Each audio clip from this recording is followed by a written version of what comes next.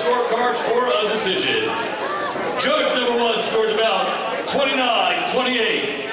Bennett! Judge number two scores about 29-28. Kahout! And judge number three scores about 29-28 for your winner by split decision.